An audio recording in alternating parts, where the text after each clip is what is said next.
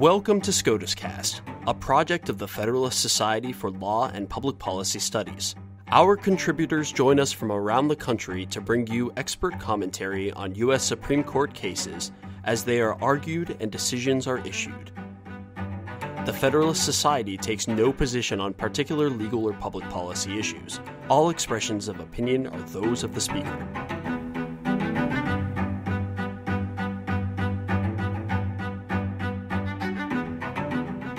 Joining us for this post-decision episode of SCOTUS Cast, Subpoena Quashing Edition. I'm your host, Bridget Flaherty.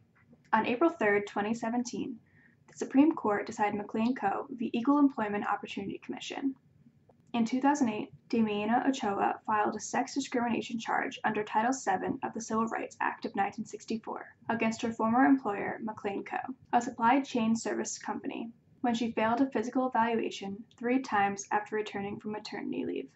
The Equal Employment Opportunity Commission, EEOC, launched an investigation into Ochoa's charge, but McLane declined the EEOC's request for pedigree information, meaning names, social security numbers, addresses, and telephone numbers of those employees who had taken the physical evaluation. The EEOC then expanded its investigation into McLane's operations nationwide and possible age discrimination, issuing subpoenas to McLane for pedigree information regarding these matters too. McLane refused to provide this information as well, and the EEOC then filed actions in federal district court to enforce the subpoenas issued regarding both Ochoa's charge and the EEOC's own age discrimination charge. The district court quashed the subpoenas, finding the pedigree information irrelevant to the charges, but the U.S. Court of Appeals for the Ninth Circuit applying a plenary or de novo standard of review, reversed. Other U.S. courts of appeals, however, apply a more deferential abuse of discretion standard in such situations, and the U.S. Supreme Court granted certiorari to resolve the split among the courts of appeals. By a vote of 7 to 1, the Supreme Court vacated the judgment of the Ninth Circuit and remanded the case. In an opinion delivered by Justice Sotomayor, the court held that a district court's decision whether to enforce or quash a subpoena issued by the EEOC should be reviewed for abuse of discretion, not de novo. Justice Sotomayor's opinion was joined by the Chief Justice and Justices Alito, Breyer, Kagan, Kennedy, and Thomas. Justice Ginsburg filed an opinion concurring in part and dissenting in part. And now, to discuss the case, we have Ellen Springer, an associate at Baker Botts.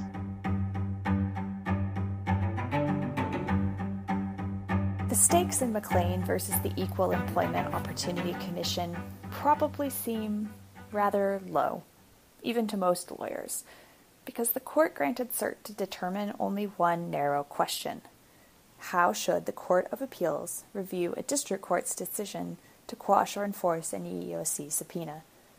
Should that review be de novo, which the Ninth Circuit concluded in the opinion that triggered the court's review? Or should it be the deferential abuse of discretion standard, as all the other circuits to consider the question have held? Asking the question that way, of course, practically gives away the answer. In short, the Ninth Circuit was wrong. It is now the law of the land that the courts of appeals must perform their review deferentially. But the importance of the case lies in how many other areas of law could be affected by this rule. So I want to talk briefly about the EEOC subpoena practice and how this particular case arose. And then we'll briefly cover the Supreme Court's resolution and why it matters. The EEOC, like many other executive agencies, has the power to subpoena information relevant to the charge under investigation. This subpoena power is reviewable by the district court, whose role is merely to satisfy itself that the charge is valid and that the material requested is indeed relevant to the charge. Relevant is, as all who have taken evidence in law school know, a very broad concept. It includes virtually all material that might cast light on the allegations against the employer. In the underlying case, the EEOC was investigating a Title VII suit filed by Damiana Ochoa. On her return from maternity leave, McLane, Ochoa's employer, required her to take a strength test, as it requires all its returning employees to do.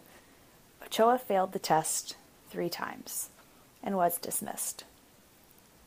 In the course of investigating McLane's strength test policy and whether it constituted discrimination on the basis of gender, The EEOC subpoenaed the names, social security numbers, last known addresses, and telephone numbers of all McLane's employees nationwide who had taken the strength test. McLane refused to comply with the subpoena, and the district court refused to enforce it, finding that the so called pedigree information was not relevant to whether the strength test was discriminatory. The Ninth Circuit reversed, using de novo review, despite the fact that all other circuit courts use a more deferential standard. This lopsided circuit split gave rise to the cert grant. At the outset, this case is unique in that the EEOC itself declined to support de novo review, which led the court to appoint Stephen Kinnaird as amicus to argue in support of the Ninth Circuit's judgment and thus in favor of de novo review. Mr. Kinnaird discharged his duty as amicus admirably, but faced something of an uphill battle. As McLane argued, the long standing and nearly universal practice of the courts of appeals is to review all administrative subpoenas for abuse of discretion. The Ninth Circuit, alone in applying de novo review, was not even clear in its opinion about why it applied de novo review. Moreover, in terms of relative institutional competence, the district court is better placed to determine highly fact bound questions such as relevance. The district court is not only more likely to make better decisions, but also to do so in the most efficient manner for the parties and the judicial system. The Solicitor General, on behalf of the EEOC, also favored deferential review.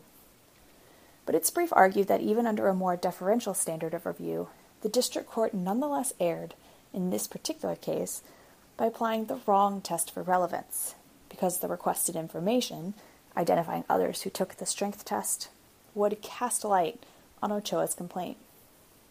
Against this nearly universal consensus in favor of deferential review, the amicus arguing for de novo review made a clever argument. He contended that district courts do not have discretion to determine whether a subpoena is enforceable, and therefore their decisions cannot be reviewed for abuse of that non existent discretion. The amicus further argued that district courts owe agencies deference, and that double deference by the appellate court is analytically impossible. Finally, the amicus compared administrative subpoenas to searches by law enforcement, which are reviewed de novo for reasonableness under the Fourth Amendment. Court was not persuaded. In a 7 to 1 opinion by Justice Sotomayor, the court acknowledged the near universal and historical practice of deferential review, as well as the relative institutional competency of the district court. The amicus's view of the district court's role in reviewing administrative subpoenas was too narrow because deferential review is not just appropriate where the district court has wide discretion, but also where the district court's decision deserves to be insulated from appellate revision, as here, where the district court's position gives it superior advantage of the case. The court also rejected the amicus's argument about double deference, rejecting its premise that a district court gives deference to the agency during its review. Finally, the Supreme Court acknowledged that subpoenas are constructive searches but rejected the argument that all Fourth Amendment searches require heightened review. Justice Ginsburg concurred in part and dissented in part. She agreed that abuse of discretion was the proper standard, but nonetheless would affirm, based on the argument raised by the Solicitor General on behalf of the EEOC, namely, that the District Court erred as a matter of law in requiring the EEOC to show a particularized necessity of access beyond a showing of mere relevance the case has been remanded back to the Ninth Circuit to apply the correct, deferential standard of review. But it's not clear that McLane is out of the woods yet. The Ninth Circuit could decide, in line with Justice Ginsburg's reasoning, that the district court's error was one of law, and therefore an abuse of discretion. However, the fact that Justice Ginsburg wrote alone may signal to the Ninth Circuit that such a conclusion will not find favor with the court. The implications of this case are more wide reaching than they may appear at first blush. The McLane decision will likely govern review of other agency subpoenas, of which there are many. A 2002 Justice Department report cataloged 335 grants of subpoena power to executive agencies. It's hard to imagine that that number has dwindled in any way over the last 15 years. Had the court imposed a stricter standard, it likely would have invited appellate delays and increased costs across a far wider spectrum of administrative actions. That seems like a bad outcome. and so perhaps the court's judgment could be celebrated, even by those who only care about results.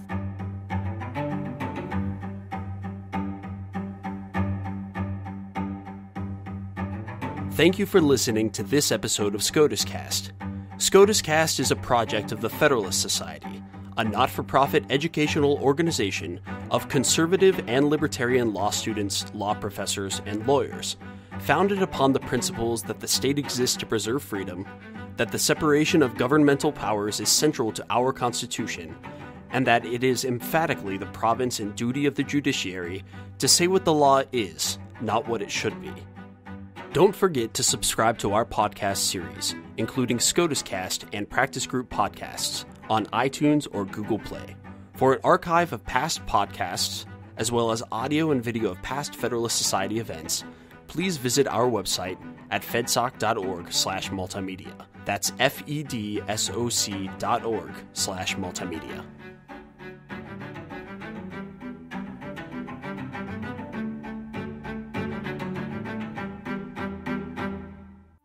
This has been a FedSoc audio production.